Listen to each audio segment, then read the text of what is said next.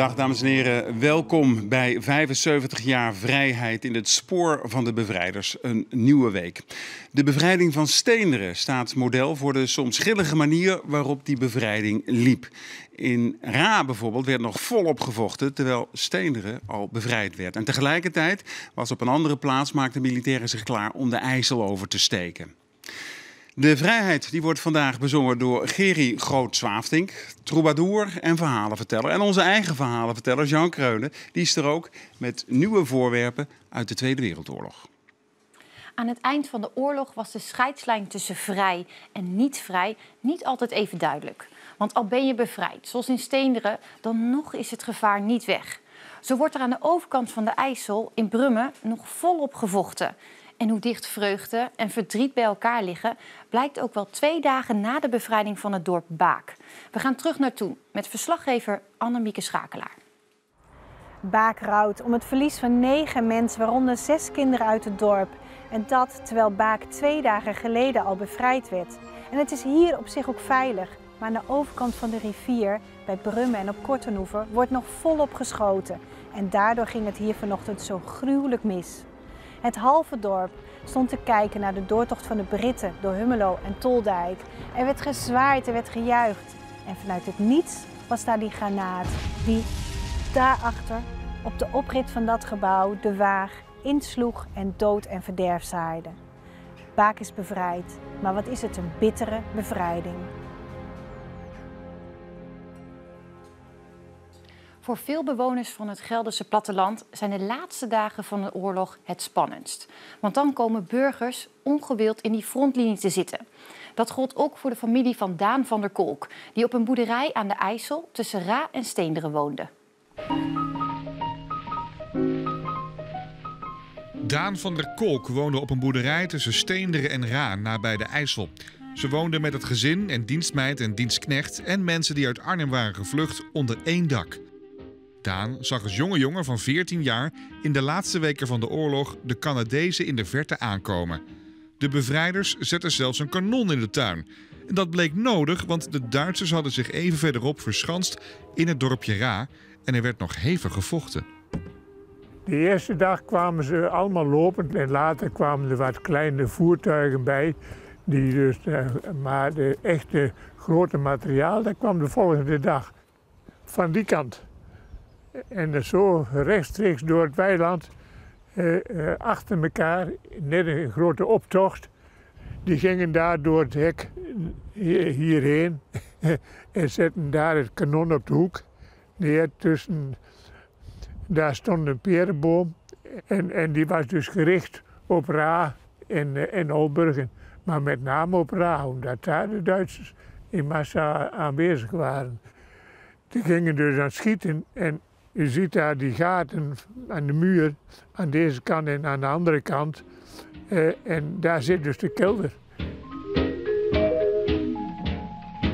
Hier hebben wij ingezeten met een kleine 30 personen vanwege beschietingen. Het kanon dat stond hier buiten tegen de hoek van de muur aan. En uh, die gingen dus schieten. En wij zaten hier.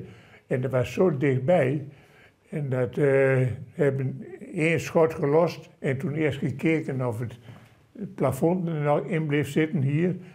En dat, uh, dat ging goed. Je maakt je natuurlijk wel erg uh, angstig.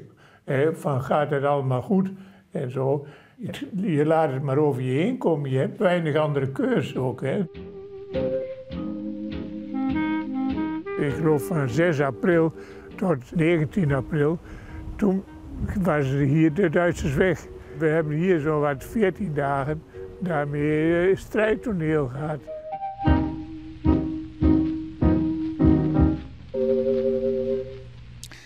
Ja, we praten hier aan tafel verder met Joël Stoppels, Battlefield Guide. Uh, moet ik zeggen, wat, wat doet een Battlefield Guide precies? Nou ja, eigenlijk in de, in de voetsporen treden van de bevrijders en de verhalen eh, vertellen op de locaties waar het heeft afgespeeld. En ik denk dat dat een beetje samengevat is wat wij, eh, wat, wat wij doen. Ja, dat betekent ook dat je overal al die punten, al die historische punten ben je ook geweest. En daar heb je het verhaal paraat bij, zeg maar. Ja, ja, ja, ik probeer het zoveel mogelijk. Dus eh, vanaf eh, Normandië, Juno Beach, tot aan in Delcel, helemaal in het noorden van Nederland. Ja. En zo nu dan moet ik me wel een beetje inlezen, want ja, er zijn de details niet altijd, blijven niet altijd hangen, maar we doen ons best. Je kunt niet alles weten. Waar je ook in verdiept hebt, is de gebeurtenissen eh, zeg maar op 8 april 1945. Rond 8 april 1945. Eh, dat ging over de oversteek van de IJssel. Neem ons even mee. Wat gebeurde daar? Nou, eigenlijk was het belangrijk om twee plaatsen, de grote plaatsen langs de IJssel, eigenlijk eerst te bevrijden. Dat was Zutphen en Deventer. En men zou tussen deze twee plaatsen moeten oversteken, eh, onder de naam Operation Cannon Shot. Ja. En door moeten stoten richting Apeldoorn. Dat was eigenlijk het plan. Eh, nou ging men en in de aanval eh, richting Zutphen. Eh, maar dat bleek al hele zware tegenstand te zijn. Onder andere fanatieke jongens van de Hitlerjugend die in de kelder zaten. zwaar tegenvuur gaven, waardoor ook ontzettend veel Canadezen sneuvelen. En toen moest Deventer ingenomen worden, onder andere door de Canadian Scotties. Er volgden weer enorme zware gevechten. En uiteindelijk pas op 10 april 1945 is Deventer bevrijd. En dat is ook het teken om dan veilig over de IJssel door te steken naar, eh, naar Apeldoorn. Ja, maar dat gaat niet vanzelf. Dan moet je eerst zorgen dat je je troepen weer bij elkaar hebt. Eh, vertel even, Baak. Hè? Baak was geloof ik Ja, het, ja. verzamelpunt. Klopt, ja. Daar eh, zouden ze moeten oefenen met zogenaamde buffalo's. Het waren amfibievoertuigen. Ehm, dan, dit betreft de eerste Canadese infanteriedivisie. Die kwam eigenlijk vanuit Italië. Daar waren ze al in gevecht vanaf 1943. En zij hadden nog geen ervaring in het gebruik van deze zogenaamde buffalo's. Daar waren natuurlijk wel andere Canadese een- eenheden richting Operation Vertable. Die Van, daar... van, van, van wie waren die oorspronkelijk, die buffalo's? Dat waren van de Engelsen. Dus Oh. eh, de Engelsen hadden de beschikking over die buffalo's. En ja, die moesten dus met die Canadezen oefenen bij Baak om, eh, om ja, zich voor te bereiden op Operation Cannon Shot. Ja, want eh, inderdaad, met zo'n amfibievoertuig rijden en varen. als je daar nooit mee gewerkt hebt en je moet ook nog eens een keer vechten tegen de Duitsers, dan is het handig als je een beetje weet wat je doet. Ja, zeker. En ook als je onder artillerievuur ligt, dan moet je wel zeker weten en goed weten hoe je ook je manschappen afzet. Hè? Dat is natuurlijk ook nog een, een, een belangrijke zaak hierbij. Ja, want dat, je zegt dat artillerievuur, er werd van de overkant eh, dus nog volop eh, geschoten. Eh, dat wisten ze ook, dat ze eh, zouden oversteken en dus onder vuur genomen zouden worden. Toch ging dat heel voorspoedig, hè, dat oversteken. Ja, ja, ja, er was zelfs een, eh, een Canadese eh, luitenant die later in zijn eh, dagboeken eh, eh, heeft geschreven dat het eh, niet leek op een oorlogssituatie toen ze overstaken, omdat volgens hem ook nog mensen gewoon in de tuin zaten te kijken. Ja, ja, En, en, en, en dus het vuur viel ook nog wel mee Ja. eh, bij de oversteek. Duurde uiteindelijk, wat was het, zeven minuten of zo? Ja, dat ging ontzettend snel. Ja. 11 uur gingen ze die buffalo's in op die 11 april. En toen waren ze vrij vlot waren ze over. Ja. Dat ging, eh, en, en, en weinig tegenvuur. Dat kwam pas toen ze echt aan land kwamen. En landinwaarts trokken richting Twello en onder andere Wilp. Ja, maar als je die buffalo's aan de overkant hebt, daar kunnen maar een paar mensen in. Dan heb je al met al nog niet al je troep aan de overkant. Hoe, hoe hebben ze dat voor elkaar gekregen? Nou ja, ze hebben eh, eerst, zo zeggen we dat, er heel mooi compagnie in over, over gezet. Dus dat is ongeveer, eh, eh, ja, een, een regiment is ongeveer 1000 man. Dus een, een compagnie zou ongeveer 200, ondersterkt eh, 150 zijn. Dus die moet eerst overgebracht worden. En daarna, als het zijn veilig was, zou de genie een vlotte bouwen... waarmee ook tanks naar de overkant worden, kunnen worden gebracht. En daarna zou een Beliebrug worden gebouwd. Ja. Dat was het plan. En dat was dus allemaal een beetje eh, ja, bruggen, eh surrogaatbruggen, zullen maar even zeggen. Waar dan al het zware materieel mee naar de overkant moest. Ja, en dat was ook weer niet zonder risico. Want uiteraard schoten die Duitsers nog steeds met artillerie. Waarbij ook weer mannen van de genie bij sneuvelen. Ja, dus de rivier oversteken, dat was een dingetje. Eh, vervolgens eh, moest je dan nog maar heel huids aan de overkant zien te komen vanwege het artillerievuur. En vervolgens moest je dan aan de overkant ook nog zorgen dat de anderen allemaal konden Ja, oversteken. en er was dus ook een rookgordijn gelegd, van, van, van tevoren natuurlijk. Daar hadden die Canadese officieren ook eh, geëist dat dat kwam. Omdat ze ervaring hadden opgedaan in Italië met het oversteken van rivieren. En dat ging niet altijd, al- altijd goed. Dus eh, men zei wel, we willen eerst een rookgordijn hebben. Maar het is gelukt en we praten straks verder, Joel. Dankjewel.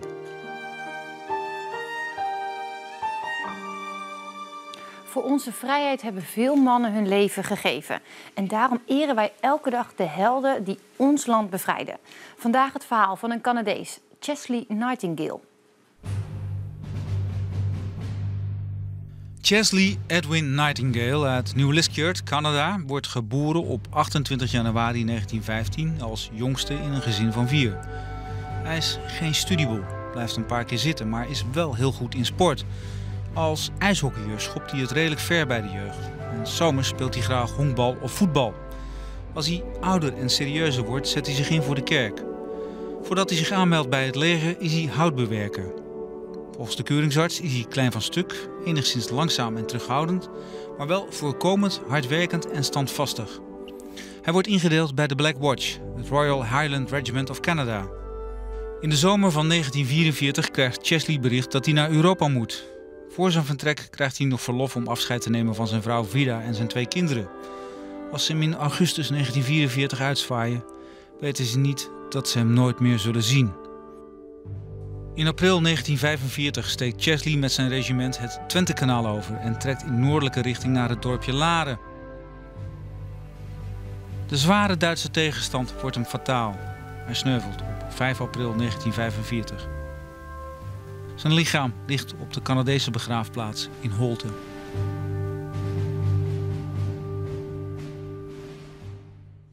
Ja, een van de helden, Jean, die we deze weken eigenlijk uh, eren.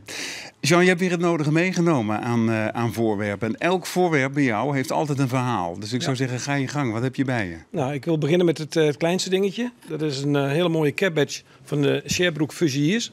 Die waren naar het verzamelpunt Baak onderweg en kwamen toen door Toldijk. Daar stond Timmerman Eskes langs de kant van de weg met zijn vrouw en het dochtertje van één jaar op de arm. En een van die manschappen van de Sherbrooke Fusiliers die raakte zo geëmotioneerd bij het zien van het kleine meisje. Dat hij stopte en haar even vroeg of hij haar vast mocht houden. Nou, die heeft even geknuffeld, want die miste zijn eigen kinderen. Dat heeft Timmerman Eskes, die geen Engels konden van begrepen. En toen haalde hij zijn baret, speld van zijn baret en gaf het aan dat kleine meisje. En daarbij gaf hij ook dit, wel een heel bijzondere speltje. God is liebe. En dat heeft waarschijnlijk die Canadees in de opmars uh, door het uh, Rijkswald in uh, Kleef of Emmerik gevonden of nou ja, in beslag genomen. En dat gaf hij ook aan die familie met een teken van het gaat door met dit kleine kindje. Nou, en dat kleine kindje, een volwassen vrouw, die heeft mij deze kleinoden weer geschonken in mooi. de tijd van het museum. Heel mooi, ja. Nou, en dan heb ik nog iets bijzonders. En dit noemen we een flitsspuit. En uh, dit is een uh, DDT-spuit. Ik heb het blik met de DDT ook meegebracht. Gelukkig is die leeg. Dit is streng verboden tegenwoordig. Maar toen de bevrijding een werkelijk een feit was, kwamen uit alle hoeken en gaten de onderduikers en uh, verborgen joden en noem allemaal maar op. soms piloten die een tijd verborgen zaten, kwamen voor de dag. En de hygiënische omstandigheden waren niet al te geweldig natuurlijk. Nee. In oude kippenhokken op zolders. Mensen die hadden allemaal onder last... de vlooien en de viezigheid. Ja. Nou, je voelde hem aankomen. En dan werd je kraagje getild en dan ging die spuit erachterin. Woep, en dan kwamen er alle okselgaten en overal kwam de DDT-poeder uit. Wat na de oorlog natuurlijk ernstig verboden is. Maar dan werden de mensen dus uh, ontsmet en gedesinfecteerd. En in Ra, in Toldijk, overal stonden ontluizingshuisjes. En daar konden mensen dan ontluist worden. En dat gebeurde met dit soort spuiten die de Canadezen meebrachten. Ik wou net zeggen, want dat was voorradig. Dat hadden de Canadezen dus meegenomen met inderdaad het idee... Uh, ja, uh, we, we, zullen af en toe wat moeten ontsmetten. Ja, klopt. En deze komt van Beekman uit Steenderen. Ja. En die heeft jou dat dan en, en dit verhaal, uh, dat, dat, dat zoek je er dan bij? Uh, uh, dat dat brengen de mensen, als ze het object komen brengen, dan ja, verhoor ik die mensen bijna. En dan wil ik alle informatie die maar te vinden is bij dat object, wil ik hebben. En dat leg ik dan vast. En dan horen wij het weer van jou. Jean, dankjewel. Alsjeblieft.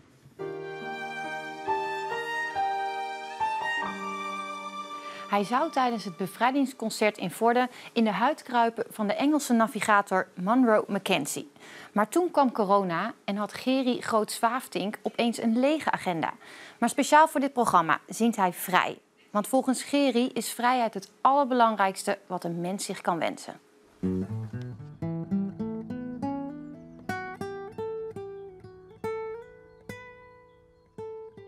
Vrijheid, dat is los van eten en een dak boven je hoofd het allerbelangrijkste wat een mens, wat een dier uh, maar zich kan wensen. Ik was onlangs eens in een dierentuin. Het zonnetje scheen, dus ik werd er lekker bruin. Daar zag ik voor een kooi wat mensen staan. En omdat het nieuw was, besloot ik er ook heen te gaan. Omdat het nieuw was, besloot ik er ook heen te gaan. Dit liedje hoort bij een, uh, een verhaal wat ik graag vertel over een koopman uit Venetië. En die heeft een papegaai. En die papegaai die vindt het, het vrij vliegen in, in de lucht, in de wereld, vindt hij, vindt hij zo belangrijk dat hij zelfs zijn eten en zijn prachtige kooi daarvoor achterwege laat. En als je mij vraagt, wat is vrijheid voor jou? De vrijheid om te zijn wie je bent. Vlak voor de kooi stond op een groot plakkaat. Niet sarren alstublieft, anders wordt ze kwaad. En de mensen die daar stonden, ze keken stom. Zo ook een oppasser die daar wat verder stond. Zo ook een oppasser die daar iets verder stond. Ik vroeg een beste man, hoe heet je dier? Hij zei, dat is de vrijheid, meneer. Die hebben we net hier. Die komt zo zelden op de wereld voor. Dus wordt ze hier voor weinig geld aan u vertoond. Dus wordt ze hier aan Jan en Alleman vertoond. Heel veel mensen zijn naar mijn idee gevangen in het systeem en ik, ik vind dat erg jammer. En uh, ik zou ze graag daaruit los willen maken. En misschien zet dit liedje daartoe tot denken aan. Ik keek nog eens en zei toen, beste heer. Maar de kooi is leeg, het dier is er niet meer.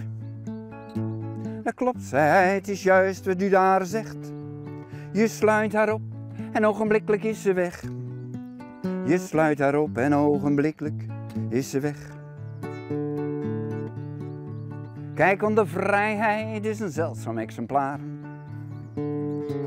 Sommige mensen zijn een beetje bang voor haar. Want achter tralies zie je dat ze verdwijnt.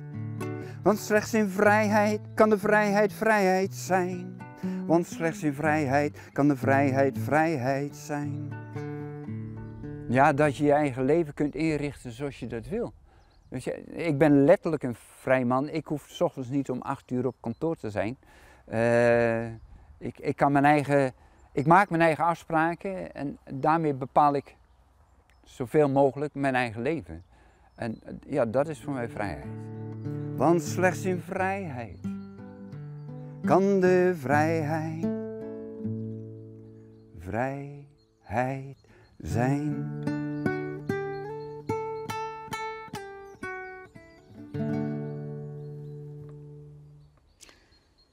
Mooi.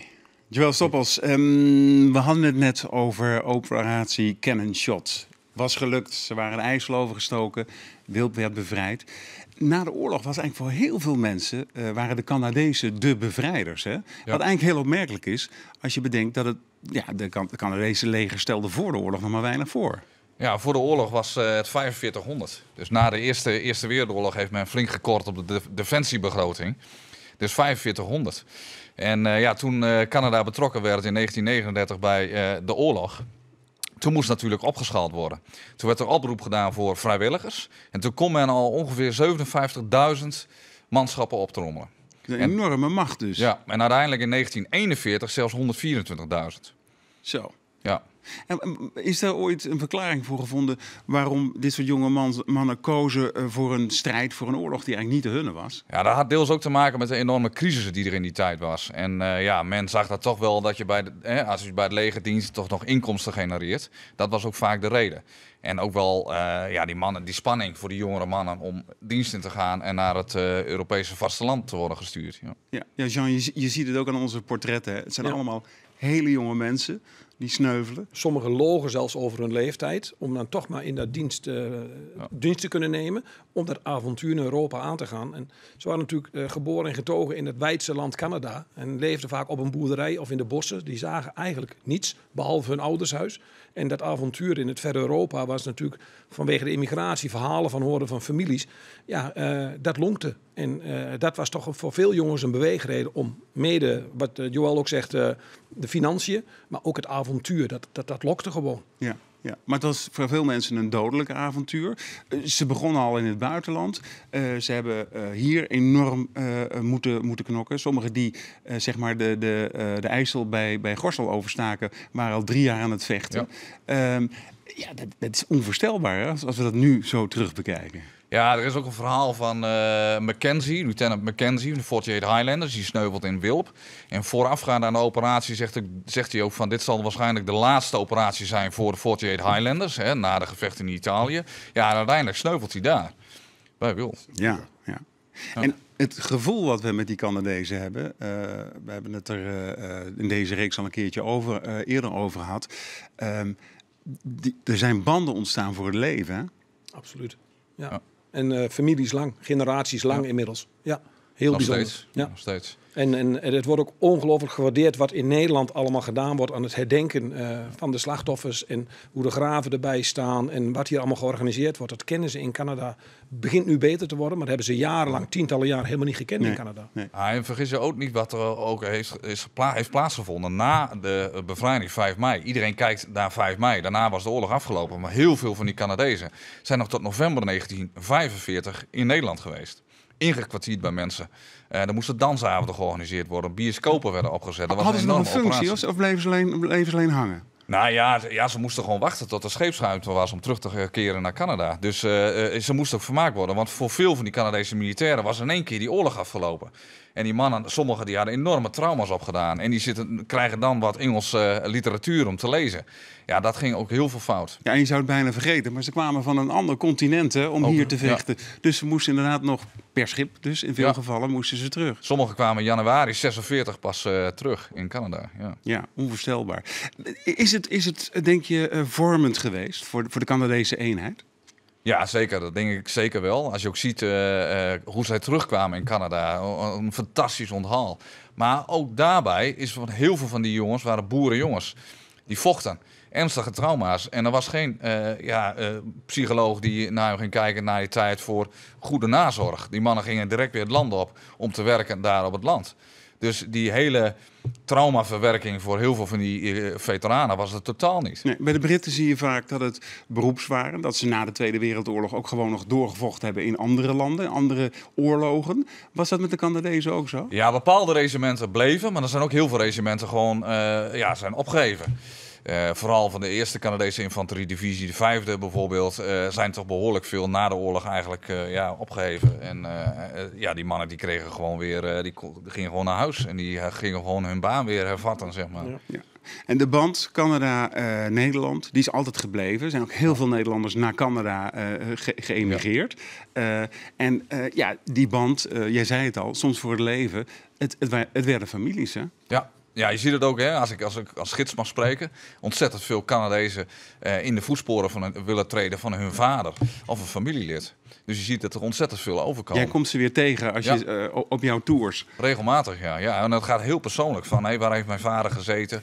Eh, en, en soms ook wel hele emotionele verhalen die je tegenkomt. Ja, de Canadezen. Een hele belangrijke rol gespeeld bij de bevrijding van Nederland. Dankjewel. Graag gedaan.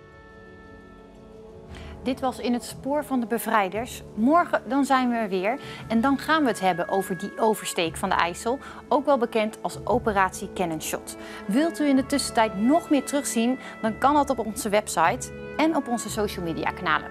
Bedankt voor het kijken en tot morgen.